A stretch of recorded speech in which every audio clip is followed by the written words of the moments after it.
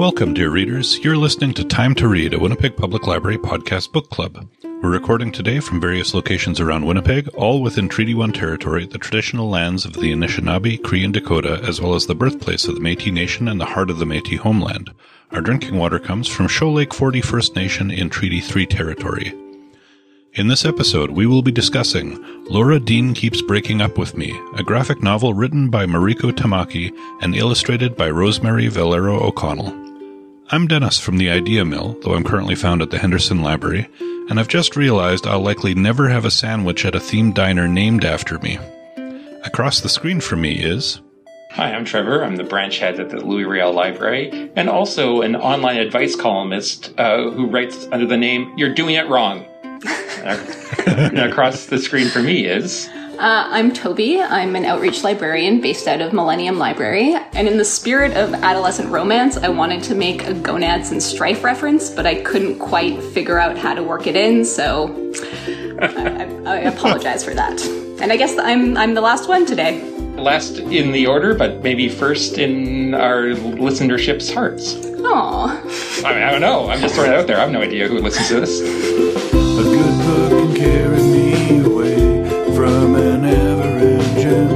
Ordinary day. Yeah. So keep it down, leave me alone. Close the doors and turn off the phone. Cause all I ever really need is a little more time to read. And you, dear readers, we hope you aren't thinking about breaking up with us. Keep in touch. You can find our email address and all our social media outlets by going to wpl-podcast.winnipeg.ca and scrolling to the bottom of the page. If you hang around till the end of the episode, you can enjoy our special segment, Nerd Words for Word Nerds. In a moment, Trevor will give us a summary of the book, but first, Trevor will also tell us about the author. Yeah, you know, I feel like I got off easy the last couple of episodes because two episodes ago was uh, we did short stories, George Saunders, so I didn't really do a summary, and then last month we did a memoir, so my summary was pretty much the same as the biography. So now I'm paying for it because I'm doing not only one author bi- biography, I'm doing an author biography, an illustrator biography, and then the summary. So, uh, you know, uh, get used to hearing the timbre of my voice for the next 30 minutes. Or less, hopefully. or less. Yeah. Dennis will have some serious editing going. Okay, here we go. This is it. Mariko Tamaki was born 1975 in Toronto. Her family tree includes Japanese, Canadian, and Jewish branches. She studied English Lit at McGill. She graduated in 1994. She's best known as a writer of graphic novels. She's collaborated with her cousin Jillian Tamaki on two separate works. The first one, Skim, from 2008, and This One Summer from 2014. She's written a few issues of Lumberjanes, those ones were illustrated by Brooklyn Allen, and collaborated with Steve Rolston to write Emiko Superstar, which was inspired by a performance art open mic collective that Mariko participated in when she was a student at McGill. It was called Girl Spit. And because it was during the 1990s, there's very little online evidence of Girl Spit for the good or for the bad. I don't know. I couldn't find a lot of information on it, but I am curious to learn more about it. In 2016, she got called up to the majors by taking on Marvel's She-Hulk in a new series and writing a Supergirl miniseries for DC Comics called Being Super. She returned to Marvel in 2019 with a four-part series called Spider-Man and Venom: Double Trouble, and then she went back to DC in 2020 to start writing Wonder Woman. She started her own comic imprint, Surely Comics, with the aim of publishing more comics with the 2SLGBTQ plus themes, fostering things that she wants to see out there and also working with a wealth of untapped talent. When asked about her thoughts on having some of her books challenged or banned in schools or libraries, this is what she says. I like protest. Protest is good, but protest needs to be a conversation, not just a removal of the antagonizing agent. I think it's worth having a conversation about what we do as readers, as libraries, as parents, about books that make us feel uncomfortable, about the criteria we're setting up for defining a book as inappropriate. Books don't have a nutritional value, which is to say, we don't just read good books because they're good for us. We read to expand our horizons, to understand and connect with something outside ourselves, good and bad. We read to challenge ourselves. Beyond that, Part of the experience of reading is a self selecting process where we, as readers, old and young, decide what we want to read or keep reading. I think to deny young readers that experience is an educational disservice. So that's uh, Mariko Tamaki. And now uh, Rosemary Valero O'Connell, the illustrator of Laura Dean. She was born in Minneapolis, but she spent much of her childhood in Zaragoza, Spain, going back and forth between the States and Europe. She graduated from the, the Minneapolis College of Art and Design with a Bachelor's of Fine Arts in Comic Art in 2016. She got into the biz after an editor for First Second Comics, which is the publisher of Dean, bought a copy of her 22 page mini comic that she wrote and illustrated over the summer uh, from the Museum Comics and Cartoon Arts Festival. In 2020, Valero O'Connell won an Eisner Award, which is one of the top comics awards, for Best Penciler Inker for her work on Laura Dean Keeps Breaking Up With Me. And that book also won an Eisner Award in the Best Publication for Teens category. And she also won in 2020 the Ignatz Award for Outstanding Artist. When what she has to say is, when you do a comic, it's a lot of time, and it's a lot of kneading of the bread. I've made a lot of comics about grief and loss in some sort, physical or emotional, and I found that there's plenty of catharsis to be found in that. Making something story shaped makes it into something I can understand, weirdly enough. I think taking myself out of the equation and putting that extra shroud over it for me, it allows it to become more universal and less about the specificity of my own experience, but rather asking, what about this can other people relate to? It also helps as a creator for being braver with showing parts of myself that in other situations would be unthinkable to share in casual conversation with strangers. You can read more about Valero O'Connell at her website, which is hirosemary.com, like H-I and then Rosemary. You can also see samples of some of her artwork there, including a short, poignant comic called October that I'll put a link to in the notes. And now, if you're still listening to this, this is the summary of Laura Dean Keeps Breaking Up With Me. Laura Dean, the most popular girl in high school, was Frederica, known as Freddie, Riley's dream girl. She was charming, she was confident, and so cute. But there's just one problem. Laura Dean is maybe not the greatest girlfriend. And when Freddie is with Laura Dean, Freddie is not the greatest friend to her pals. Reeling from her latest breakup, Freddie's best friend Doodle introduces her to the Seeker, S E E K H E R, a mysterious medium who leaves Freddie some cryptic parting words. She tells her, You have to break up with her. I wonder what that could mean. But Laura Dean keeps coming back, and as their relationship spirals further out of her control, Freddie has to wonder if it's really Laura Dean that's the problem. Oh, maybe it's Freddie, who is rapidly losing her friends, including Doodle, who needs her now more than ever. Winding throughout the book is an email exchange between Freddie and online advice columnist Anna Vice, who provides context and perspective to help Freddie navigate the messy world of being a teenager in love. Excellent. Ah, thank you. Oh, I can.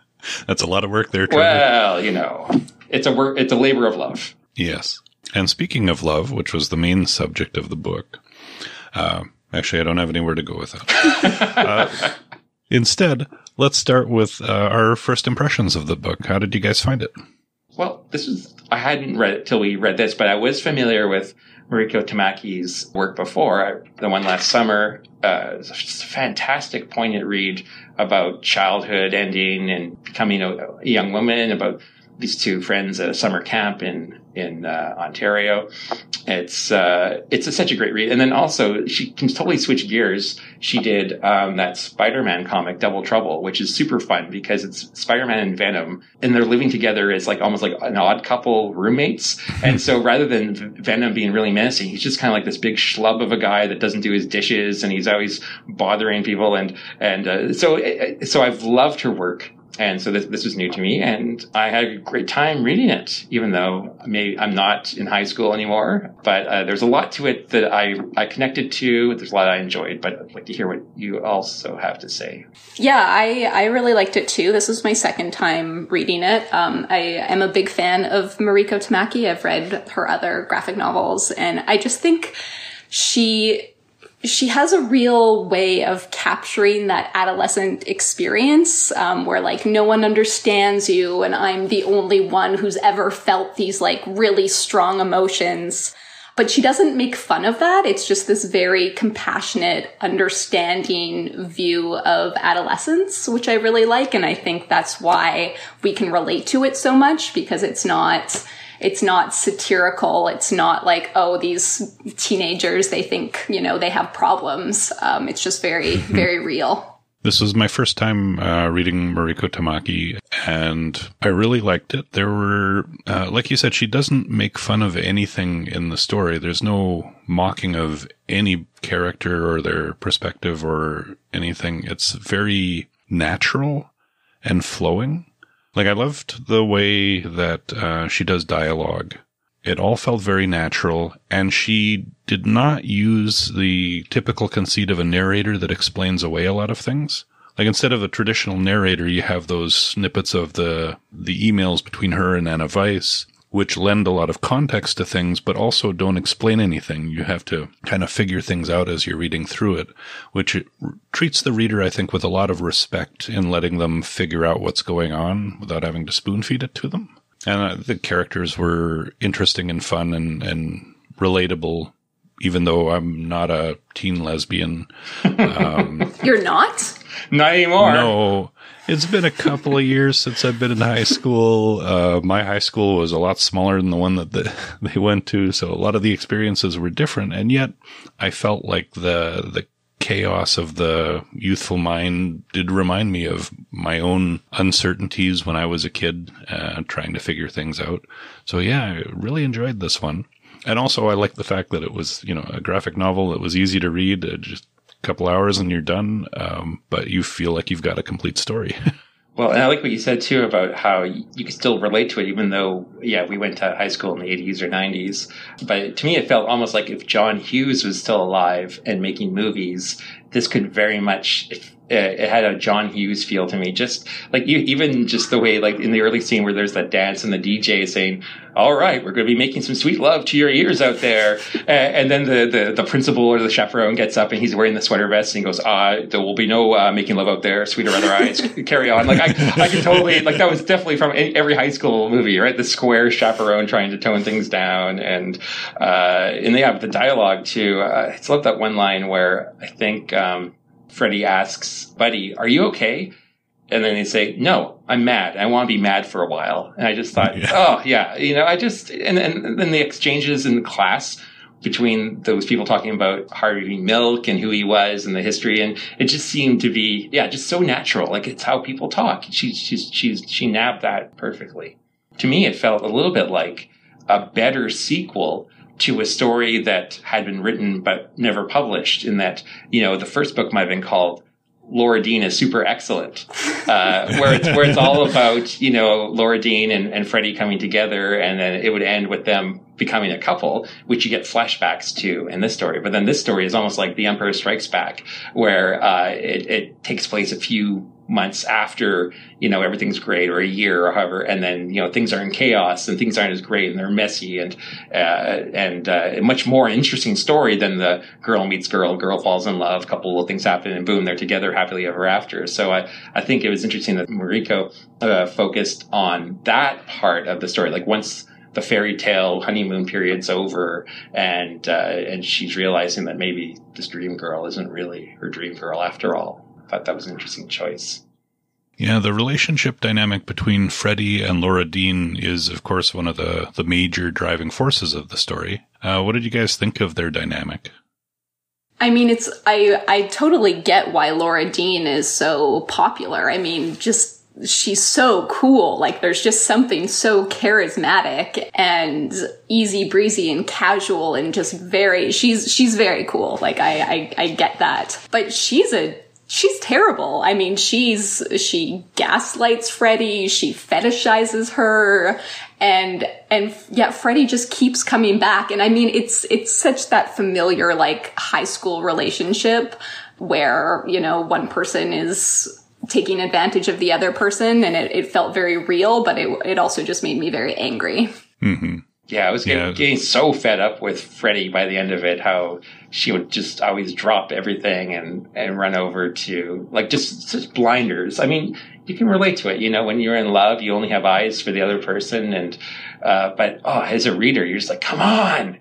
Yeah. Look at your friends. Look at what you're losing. It was so toxic. And I'm glad that, you know, the story uh, there's some kind of uh, resolution at the end. There's great scene, of course, towards the end where the scales fall from Freddy's eyes. Maybe if you want to say that, she goes to Laura Dean's house and has a confrontation, and uh, very satisfying scene. When I, I was a nerd in high school and I have a kind of aversion to people who come across as really cool. And so I disliked Laura Dean right from the start. Just, you know, she had the swagger, she had the, you know, the style. And, uh, to me, that type of character, I, I never liked them. I, and I felt fully justified as, as the story progressed and you see her do, uh, the gaslighting, um, I think the worst one was uh, when they had been at the art show and uh, Freddie uh, quickly kissed uh, one of the other people she had just been introduced to, and Laura finds out about it, and afterwards is like,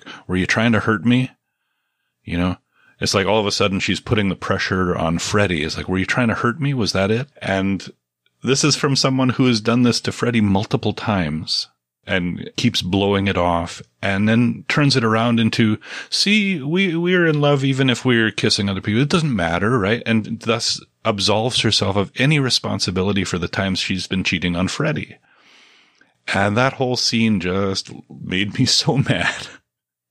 Like, what a way to treat someone to turn everything around on them and then, uh, use it to make yourself the shining example of everything that's right in the relationship, which is very upsetting, but also very realistic because you see that type of thing in relationships. My, I think one of my favorite spots in the, in the book too was after the breakup at the start of the story. I think it was Buddy who was like, okay, so do you want us to spread a rumor that she has HPV? Because we'll do that. That's what friends are like- for. Yeah, Exactly. yeah, her, uh, yeah. She had a great circle of friends, and she didn't even realize it. Uh, she did eventually, but uh, Well, I think she realized it, but that's one of the things about the relationship, right? Uh, Laura had her constantly hanging on, waiting for a message, waiting for a text, waiting for something. And only when she had that would she start to re-engage with her friends until the next time she was supposed to see Laura. yeah, and she reconnected with them, but always a little bit too late. Like she'd leave, you know, Doodle hanging. You know, they're supposed to study after school, but then she would only remember later. Or uh, and uh, yeah, it's just again realistic, understandable, but yeah, frustrating, ugly relationship for sure. I wanted to ask you guys uh, specifically about Valero O'Connell's art and what did you think of how the artwork uh, either added to or took away or changed, new, made added nuances to the to the story? Since that's at least fifty percent of the story, maybe more, depending on uh, how you feel.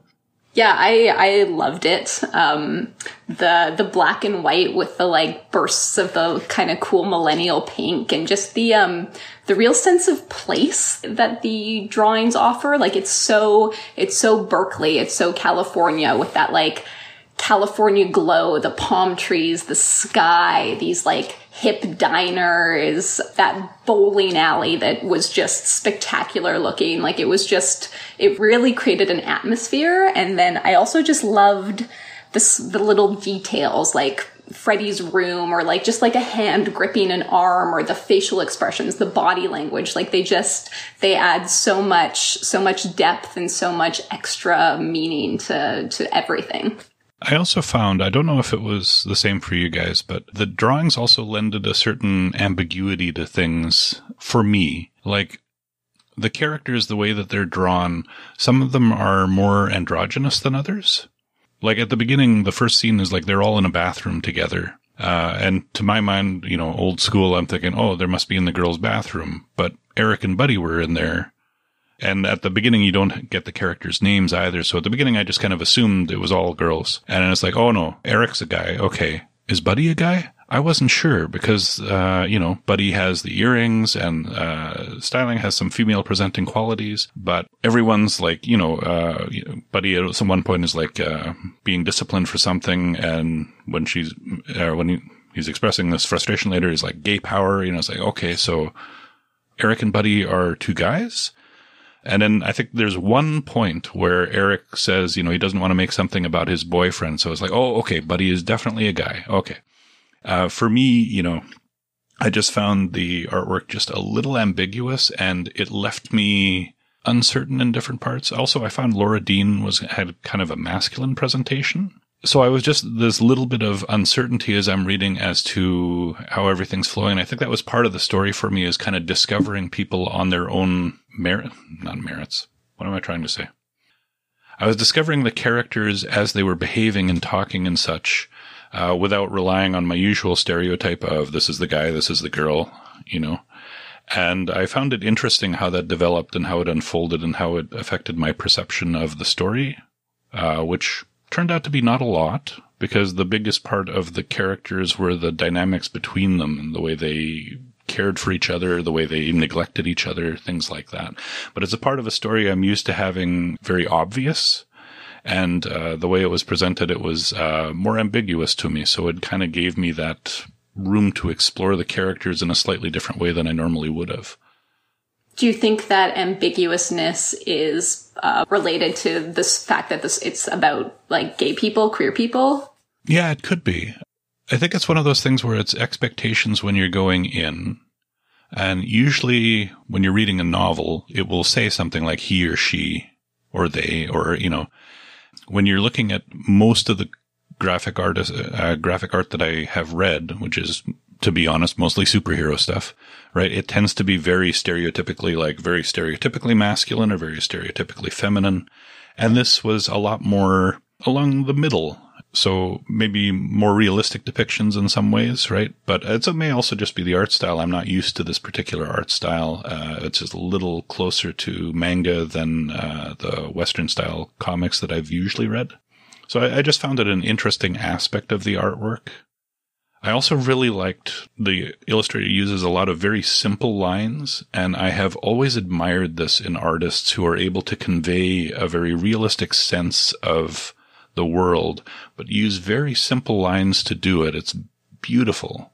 And I've never had that skill, so I really envy it. And when I see it done in such a, like an effortless way, it, it, well, it feels effortless. I don't know how much effort it actually takes to do it because I don't have that skill set, but yeah, it, uh, it was a really nice art style and I appreciated that a lot.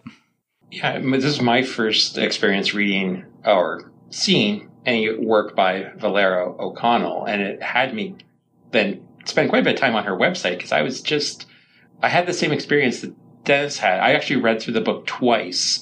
The first time I went through, I, I had this disorienting feeling. Not only be I wasn't uh, sure of the genders of the characters and their orientation, but even the way some of the the, the panels were framed, it wasn't sort of your traditional um, looking straight on. It would be like the corner of somebody, or and and uh, after reading through the story once and going back and knowing these characters, I felt a lot more comfortable. But I feel like that was probably intentional in the sense that it was it was also sort of complementing Mariko's writing because even the characters are fluid in the sense that you know the main character's name is Freddie, but it's really Frederica, and and her best friend Doodle. I think her name is Deirdre or Dorothy or something. And honestly, I didn't know if Doodle was male or female or something for the for quite a while into the story because there is that ambiguous nature which again like you said dennis it kind of uh, then strips away your preconceptions of oh this is the boyfriend this is the girlfriend this is you sort of relate to the characters on their behavior and their actions quicker than how they appear. And I don't know if you guys noticed this. Maybe this is just me imagining things, but I found that the way that uh, Valero O'Connell drew Vi, who was the the woman that was working in all the different shops and was sort of like a uh, kind of like a, a, role model figure. Someone that's just a little bit older than Freddie that could kind of show her perspective and context and show her things get better. Uh, I found it was really interesting the way that uh, Valero O'Connell drew Vi because when we first see her at that uh, donut shop when Freddie pukes everywhere, she looked to me like a middle-aged kind of woman, you know, working behind the counter, uh, just the way she was drawn. And then later on, when you see Vi with her friends, she's shown almost like um like a teenager. And I don't know if it's my perception, but it was it sort of was interesting that she she looked differently depending on the context where you saw her, whether she was working behind a counter or with her friends. And then when she went out to the uh, the art show, she was dressed, you know, beautifully. Like it was just she seemed like a chameleon to me, the way that uh, Valero O'Connell drew her. And I don't know if that was just something I thought or whether you noticed the way that she kind of morphed depending on the scene that she was in, which I thought was really cool. That you, then going back and reading it a second time, I always recognized her as Vi, but she definitely had a different uh, vibe about her depending on where where we encounter her. So. I think that ambiguity was about her age, especially, was definitely somewhat intentional because uh, you have the scene where Freddy's like, uh, "How old are you?" yeah. I'm way too old for you. Yeah. What? So you're like 25? No, I'm 18. it's like, yeah, with her, she had a lot of wisdom and um, confidence, great personality. I loved that character a lot. And uh, with that kind of a a person, it really is hard to tell how old they are sometimes because you know, that type of confidence and uh, personality at 18 is not that common. I mean, she was a very confident young woman and brought a lot to Freddie's life and, and the story. So, yeah. I just want to make one shout out to one particular panel in the book. It was page 144, and, and you'll remember the scene.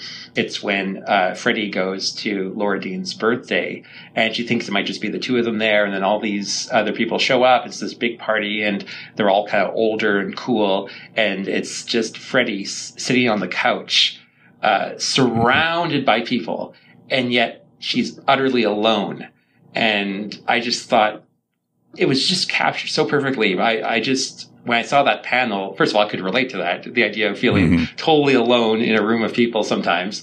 Uh, but also just the way it was drawn, it, there didn't have to be any uh, speech bubbles to tell us what was happening. It was just perfect. So needless to say, I'm now a huge fan of Valero O'Connell's work, and uh, I'm looking forward to reading other things and, uh, that she's worked on. So. I gotta ask you guys about something that I couldn't figure out in the story. So Freddy and Doodle, they take apart stuffed animals and sew them back together in different ways, right? It's like a thing they have together and it's cute and quirky, right? Uh, and sometimes those little stuffed uh, creations would have little spots of dialogue here and there. I feel like they're supposed to represent something, like there's some meaning in there, and I can't quite put my finger on it. Do you guys have any ideas?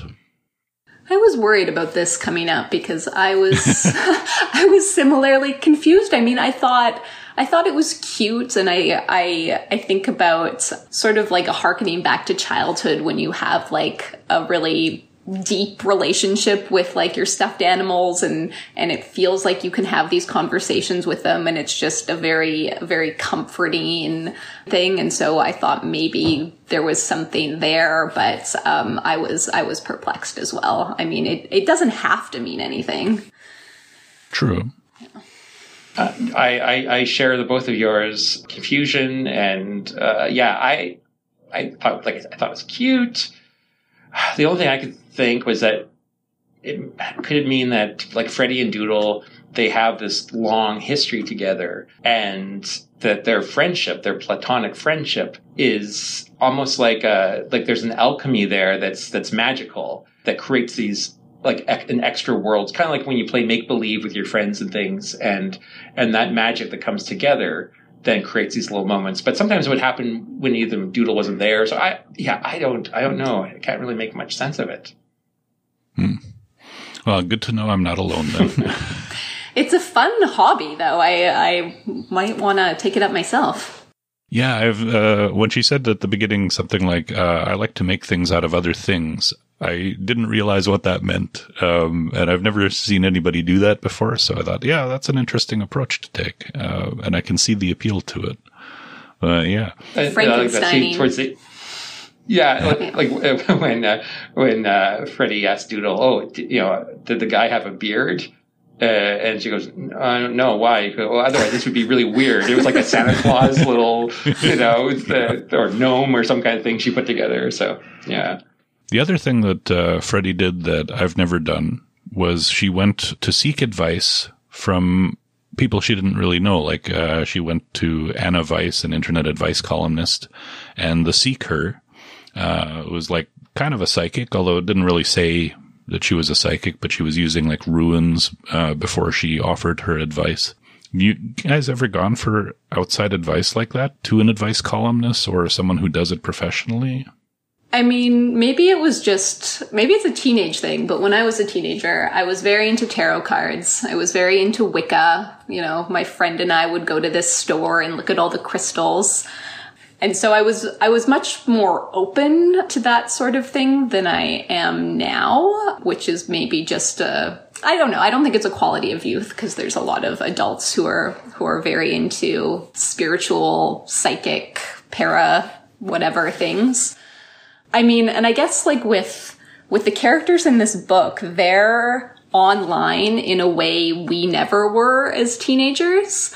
Um, and there's just more things available to them. Sure, psychics were available to us, but we would have had to like actually go out into the world to find them. We couldn't just sort of type on our computer and, oh, there's one, you know, down the block and I take this bus to get there. And, and so I think maybe this is also just a bit more of of a more connected internet time. Yeah, and there's sort of an anonymous quality to it too, especially like when you just type to Anna Vice or uh, or uh, even like the seeker you don't know, as opposed to asking someone that really knows you and you know them for advice. It would be a different quality. But yeah, I've never really sought advice about anything. Yeah. I, I think there's probably a value in getting an objective, like disinterested third party to give you advice on a life problem. I've just never felt comfortable doing it. So I haven't ever like done it. So I found that an interesting aspect to the story as well. And that the advice I think was useful from both sources that she got it from. They both gave her something that helped put everything into context and, and kind of ended up in the decision that uh, Freddy makes at the end, where she finally does break up with Laura instead of the other way around. And Laura's reaction to it, I think, was, uh, I think, justified the, uh, her decision too. Like it was just an, there, there were a lot of red flags in that relationship, uh, controlling aspects, um, dismissive aspects of the relationship. I think it could be described as an abusive relationship, not in a physical way, but there were definitely emotionally abusive tactics used in the relationship. Yeah, I felt um, Laura's reaction to getting broken up with. I was I was quite shocked by it actually because prior to that she's very like yeah whatever cool you know it's it's all good oh I'm gonna go like she was just so laissez faire and then to just explode um, with a big fu like I never cared about you anyway. Like it was it was quite uh, it was quite shocking. And and she seemed to have tears in her eyes too at the end there. Like uh like this affected her emotionally in a way their relationship never really seemed to. Because she seemed very much like a like you said a take it or leave it laissez-faire type. It's like okay well now we're making out. Okay now bye got to do some other stuff didn't seem like she was really deeply invested in the relationship but at the end she's not only mad but crying about being dumped like that can't happen to me. Like, how dare you break up with me? I'm the one who breaks up, you know. Well, before we continue on, uh, any final thoughts about the story? There's so much here. Like, we never talked about sort of queerness in in the story. I mean, I thought the parents were really interesting. We can talk about that stuff. We can leave it. It's no. Let's dive in. Yeah. Okay. Yeah. I really like how queerness is dealt with in this book. It's not it's not part of the plot. It's not a story about coming out or coming to terms with being queer. It's just it's it's just what it is, you know, in the same way that straightness never has to be explained. And you do have, you know, the bits about Harvey Milk, um, the diner boss who kind of remembers when it wasn't easy to to be queer. You know, her parents kicked her out as opposed to the super understanding parents in this book who like um, Freddy's dad even thinks Laura is cool and that line when Freddy asks Doodle, like, was your dad mad about you being pregnant? And she's like, why would he be mad? Like, it's just, mm-hmm. it's, it's remarkable. And it, yeah, I just thought that was really, really neat. Yeah, it's true. When I think back to like uh, a similar kind of situation in stories from the 80s and 90s, the fact that Doodle was pregnant and looking at uh, ending the pregnancy would have been the main dramatic thrust, and that would have been the deep soul searching, uh, painful part of the story. And it was like it's not like it was blown off here.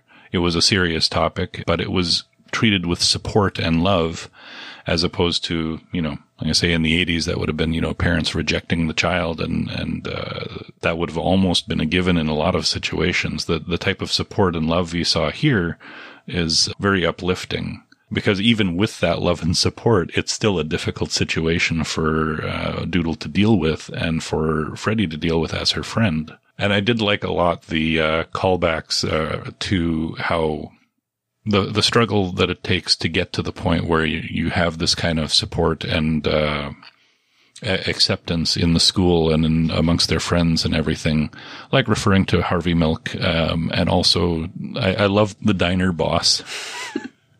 who was like, uh, well, well, why isn't this person a special? It's like, well, she didn't come out, uh, you know, it's like, well, she did come out. And it's like, yeah, that speech wasn't coming out. it's like, My She had a favorite with different that was perspective Jodie on the struggle. Foster. I don't. I totally. don't know. Yeah, that's Yeah, what I okay. thought too. Right. And I was think so? when I was going through, I was trying to figure out who all the sandwiches were named for. You know, because like you know, there's old Ellen and new Ellen. So that's you know, Ellen DeGeneres and then Ellen Page, now Elliot Page. I'm thinking, and then there was. Is there a Lily? I think a Lily Tom. Like it was interesting. in Wanda, I'm thinking maybe Wanda Sykes. Like I, I, I tried to kind of put them all together, but I like how they never really explained it. Uh, It's kind of like an. I'm in- assuming Free, the Frida was Frida Kahlo, Okay. Yeah. the artist. Yeah. I'm not sure. That was the only one that I really got. I didn't get any of the others.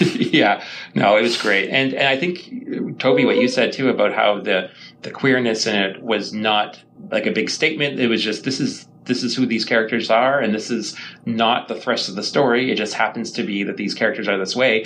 And I think that was part of the maybe the disorienting thing for me when I started reading it was because the story didn't fall into the sort of the preconceived gender roles and things. But then as soon as I got past that, then I was sort of like, oh, this is refreshing that, that we can, we can get to know these characters as people and, and not as stereotypes. And, um, yeah, it was kind of a nice thing. And when the other thing too is that you, you, even despite having supportive parents and, uh, and a good core circle of friends, you could still tell that there was, you know, homophobia and bullying. There's that one scene, you know, where Freddy overhears the gym teacher talking about something and she never quite gets what it is, but it sounds like Buddy was being, you know, bullied or some kind of, you know, anti-gay slur during gym class. And, uh, so there, we're not there yet as society. It was pointed out, you know, that we're, there's still a struggle and, and, uh, despite great gains that we made as a society in being,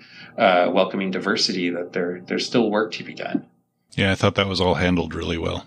And it was, like you say, it was all backdrop. It was all context for the story, but not the main thrust of the story. And also, I think when Eric and Buddy were having their conversation about why Eric didn't want Buddy to come to his 90 year old grandma's birthday party, you know, and they were such a great couple. Like, you know, they were literally the most in love couple in the entire story. They were uh, fantastic, but uh, that doesn't mean that every aspect of the relationship is easy. Uh, that they don't have struggles and disagreements that center around their sexuality. It's it's still something that everyone is processing and working through, just like every other aspect of life. There was a lot of stuff in here, which also makes it kind of remarkable how easy it is to get through the book, how much it flows and how easy and quick it is to read, but you can still get a lot of different material out of it, a lot of different uh, themes and ideas. It was a masterfully written and illustrated book. I'm glad we all liked it. Yeah. Yeah. So then uh, we will move on to our segment, lovingly entitled, Can You Tell Me a Book I Would Also Like? Who would like to recommend another book? Um, I can go. I'm excited about this one.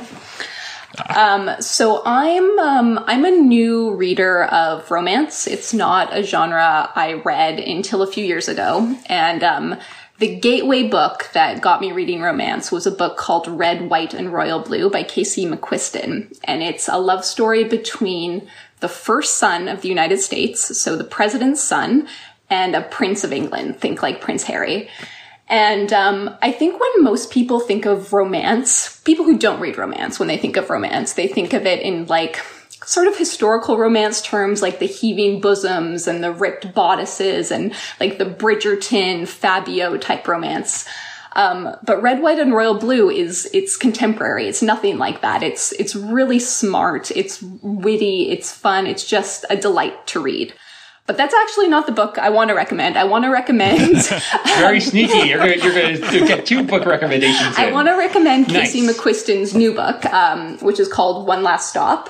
Uh, it just came out, and um, it is also a queer love story um, between two women, August and this woman named Jane, who is kind of like a time traveler from the 1970s who's somehow stuck in contemporary New York. I haven't finished it yet, so I, I don't know the finer details of the plot, but like Red, White, and Royal Blue, it's just, it's super fun, um, and a delight to read. And I think of reading romance as kind of the purest form of reading. Like you're not reading to enrich your life in any meaningful way. You're just reading for pleasure. And um, that reminds me of something you said at the beginning, Trevor. Books don't have a nutritional value. You know, it's like it's like eating dessert. Like it's not particularly good for you, but it's just really delicious. Um, and so uh, also just like a great summer beachy read. So one last stop, Casey McQuiston. Excellent. Nice. Write that down. For my uh, alt book that you will also like if you enjoyed Laura Dern. Laura Dern! Ah, I, said it. I, I told myself I was was not gonna going to say. Laura Dern. It was going to happen. Laura Dean. Ah. It's called Follow Your Arrow by Jessica Verdi. Jessica Verdi is a uh, YA novelist, and this book in particular just came out this year. It's fairly new. It's about two high school, well, it's mostly about um, this girl, Cece Ross, and her girlfriend, Sylvie. The two of them are a very cool, hip, online internet influencing couple. Uh, they're social media influencers, and they go by the hashtag CV, which is a portmanteau of their two names. But what happens though is that Sylvie breaks up with Cece. And uh, so not only does she lose her first love, but she is also worried about losing her followers and what uh, cancel culture might mean to her uh, social media presence. Then Cece meets Josh, who goes to another school, and he refreshingly has no interest in social media. He has no idea that she's a big deal on Instagram, and uh, doesn't care, doesn't know anything about it. And um, Cece is becomes interested in Josh, and uh, which isn't a huge surprise to Cece because she's always identified as uh, bisexual, but what is a surprise to her is is how much she is now trying to hide her social media presence from Josh. And and as we all know, things are going to go sideways when you try to keep those two worlds apart. And it's a fun read. Uh, it's um, at the end of each chapter there are little sort of uh, social media like uh, posts from different people that kind of summarize what's happened in the chapter before. And it's uh, it's a it's a good read uh, for people that enjoyed Laura Dean. It's called Follow Your Arrow by Jessica Verdi. I, I love the aspect of social media complicating a romantic relationship. It's uh, it's very now. so I don't normally read stories of young romance or graphic novels that don't involve two sides punching each other a lot. So uh, instead of recommending something I've read, I'm going to recommend a title I found on Novelist, and the one I'm recommending is Bloom by Kevin Panetta. So now that high school is over, Ari is dying to move to the big city with his ultra hip band if he can just persuade his dad to let him quit his job at their struggling family bakery. Though he loved working there as a kid, Ari cannot fathom a life wasting away over rising dough and hot ovens. But while interviewing candidates for his replacement, Ari meets Hector, an easygoing guy who loves baking as much as Ari wants to escape it. As they become closer over batches of bread, love is ready to bloom. That is, if Ari doesn't ruin everything. Writer Kevin Panetta and artist Savanna Ganucheau concoct a delicious recipe of intricately illustrated baking scenes and blushing young love, in which the choices we make can have terrible consequences, but the people who love us can help us grow. It uh, sounds like a really good story. And now it's time for everyone's favorite segment, Nerd Words for Word Nerds, in which we share our love of the written word by totally obsessing about a particular word or phrase. So, who's got a good word? I could go. Uh, it's I'll leave it up to you guys to whether it's a good word or not. Um, I came across this word for the first time mid June when I was attending the MLA SLA Joint Library Conference this year. Due to COVID, it was online, but despite that, I found it was an excellent conference. Lots of very interesting speakers and thought provoking discussions. One of the sessions dealt with studying how misinformation spreads. And there's actually a branch of science that studies, uh, it's a scholarly study of ignorance. It's called agnotology. It comes from the uh, Greek agnosis, not knowing, which I think doesn't say, but probably where the, where the term agnostic comes from. Same, same root word. And so specifically, it's the study of uh, deliberate culturally induced ignorance or doubt. This term was first seen in the mid 90s by Stanford University professor Robert Proctor and linguist Iain Boal. Uh, and the example they would use was the tobacco industry at that time, trying to, or uh, manufacturing doubt as to the cancerous and other adverse effects of tobacco use and intentionally trying to put information out there. And since then, the whole idea of uh, climate change, people that uh, believe that it's uh, happening, that it's not, comes across. They they distinguish between two, the terms unknowledge and ignorance. So, for example, old world map makers they would put terra incognita in the corners of the known world, uh, which then would sort of discount those areas of the world that were not on the map, and maybe more importantly, discount the people that were already living there. It enabled colonialism to flourish. It also yes, is a study of of how things don't happen, which to me is just like how can you build a, a body of knowledge based on not knowing? Uh, but it, there, it's out there, and so it kind of made me think of you know the early 2000s we can take our mind back to that simpler time when we're all just dealing with the war on terror. And Donald Rumsfeld had that famous quotation that was, you know, reports say that something hasn't happened are always interesting to me because as we know, there are no knowns. There are things that we know we know. We also know there are known unknowns. That is to say, we know there are some things that we do not know, but there are also unknown unknowns. The ones we don't know, we don't know. And if one looks throughout the history of our country and other free countries, is the latter category that tends to be the difficult ones. So there was an interesting analogy about uh, a campfire. And if you want to think of the campfire, the light from the campfire is our known knowledge. And then the bigger, and the darkness around the campfire is what we don't know, we don't know. And so the bigger the campfire gets, the more knowledge that we have generated the bigger the circumference of the circle, which means the more questions are raised, the more we think we know. So, anyway, and to quote the notorious B.I.G., if you don't know, now you know. That's agnotology. Excellent. That's a good one. Um, I can segue from campfire into my word. Very short and sweet today. I uh, I didn't have tons of time to think about this. But my word is inflammable, which means flammable. Thank you. That's, I just, it's always something I found so absurd and um, very funny. So I just, there you go, inflammable. Beautiful. That was very informational, which means formational. no, it doesn't. Yeah, only works with certain words. I like that one. So my nerd word for this month is justify. Like many words, justify has multiple meanings. Merriam-Webster offers three primary definitions. The first is to prove or show to be just, right, or reasonable, which is the meaning we'd use when describing Freddy's attempts to justify her relationship with Laura Dean. The second is to judge, regard, or treat as righteous and worthy of salvation, which is a meaning you typically hear in a church service.